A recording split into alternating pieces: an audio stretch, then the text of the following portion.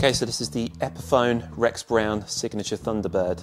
Um, it's got a pair of um, Probucker 760 pickups in it, which sound absolutely fantastic, and a 34 inch scale length. So I'm just going to play a few tunes just to demo what this thing sounds like.